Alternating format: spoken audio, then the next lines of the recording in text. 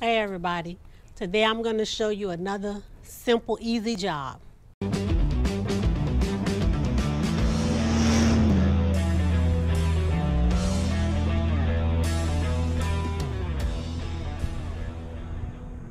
Welcome to Boots and Jeans Riders, I'm Kake, and today I'm going to show you another money-saving maintenance job that you can do yourself, and that is the oil change on Honda Goldwing 1800.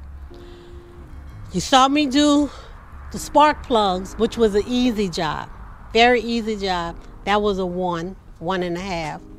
I'll give the oil change a two because of the oil.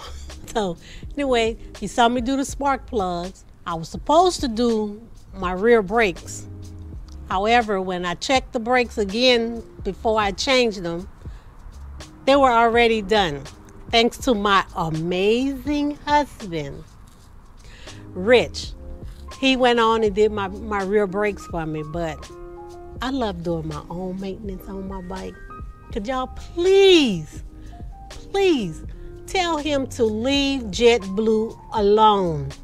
I can do my own maintenance on my bike. Now, before I get started, I'm gonna show you what we need to get the job done. Fairly easy. The oil, of course, I use synthetic oil on my bike because it lasts longer on it. I don't have to change the oil as often. We have a funnel that I'm going to use. Of course, you need the oil filter and the crush washers. You change them every time you change your oil on your bike. You have a ratchet. And here I have three different types of tools to get the oil filter off. Okay? I like the one that I like the best is this one right here. It just hook on and take it off. The other ones are two. These work like pliers. You just put it on there, you squeeze, you turn, and you take it off. And then the other one, you slip over it and you take it off with that. So, and I have some gloves. So, let's get the job started. All right, let's get started. I already have JetBlue on the jack stand already. The next thing I'm gonna do is start it up, get the oil warmed up a little bit so it can flow easy.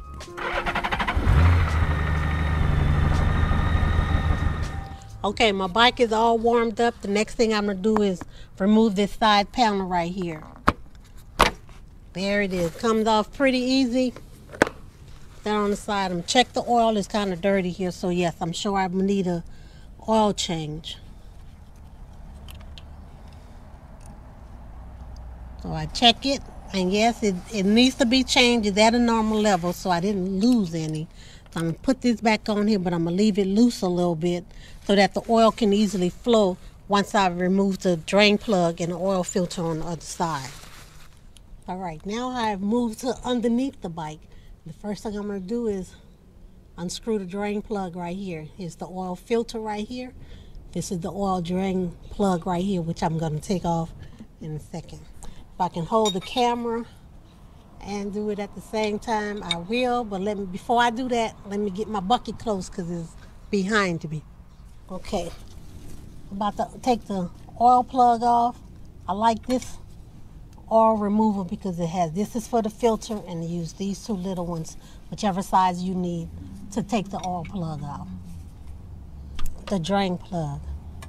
Okay, I think I got it. Yep, I can move it with my hand put this bucket over because it's gonna come shooting out so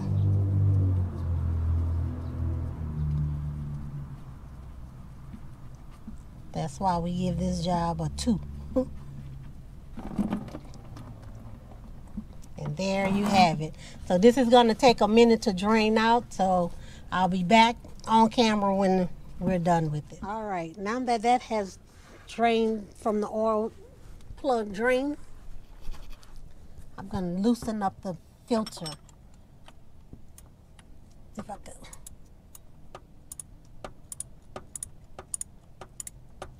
Okay.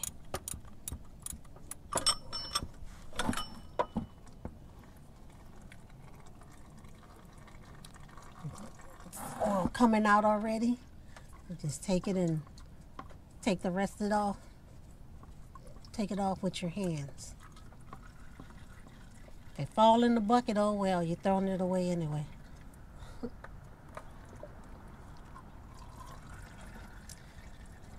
There it is. Look at that oil from the filter. So I'm gonna come back after this finished draining and then we'll plug everything up and we'll be good to go. All right, now that we have the oil filter out and is pretty much drained out, I'm gonna put the plug, the oil plug back in. But first I'm gonna put a little oil around here on the crush washer and the bolt and put it back in there. I just put a little bit on my hand and rub it on there. Get it on there nice and nice and good right there. And I'm gonna the plug back in. Wipe that excess oil off it. Put the plug back in.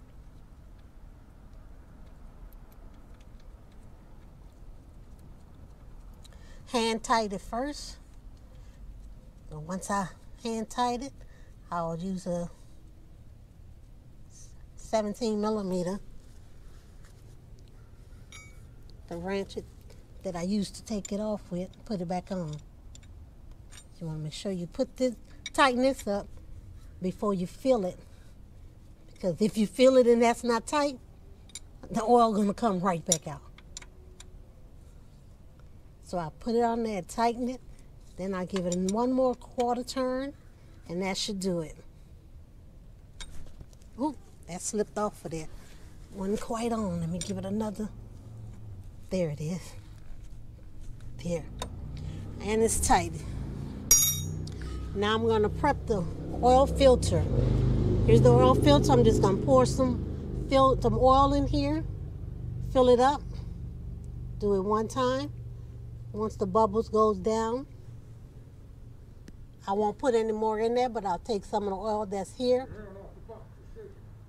and put it on the O-ring I check the O-ring, everything is fine on this filter. You're gonna lose a little bit of the oil because the filter is sideways in here. So we're gonna put this back in.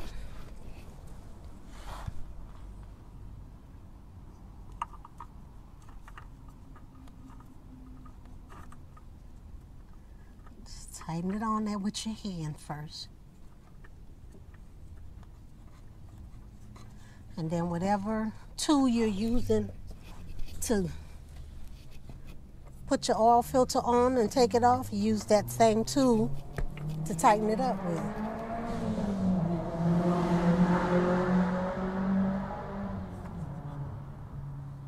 Okay, that's hand tight. Wipe that oil off so I can use my tool to tighten it up.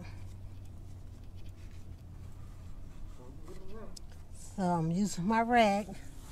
I'm gonna get the wrench. Put it on there and turn it, tighten it a little more.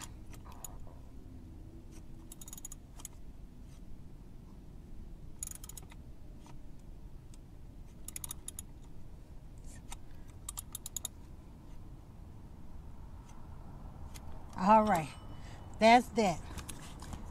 I'm gonna go on the other side over here and start putting the oil in. Now I'm about to fill the, the bike back up with oil. I use the Honda HP 4S oil, synthetic oil. Honda recommends four quarts. I'm gonna start with three and a half quarts. I'm gonna start the bike up, check the oil level, and then keep going from there. That's one quart. There's two quarts. This oil is a 10W30.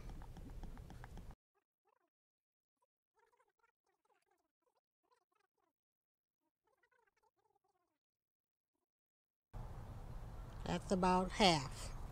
So that's three and a half in there. Now I'm to check the oil level in here. Don't check it.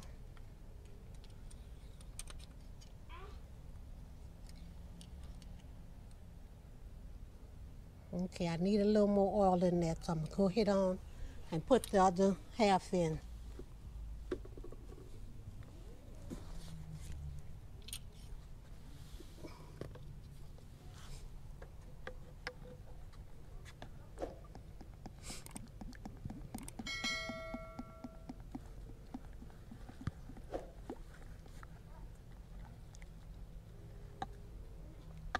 You can use the oil of your choice.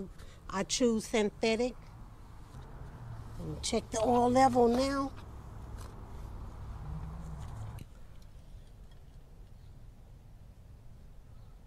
It is full.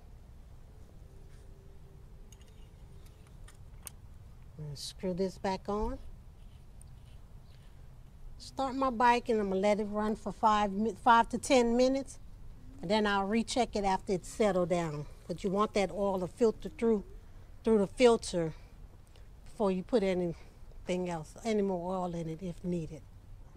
Now that I let the bike run for five, five to 10 minutes, I check the oil level, I check for oil leaks. Now I'm, I'm gonna go and run it for five miles, come back, let the bike settle and cool off, check the level again and check for leaks again, and then that's it. So there you have it, ladies and gentlemen.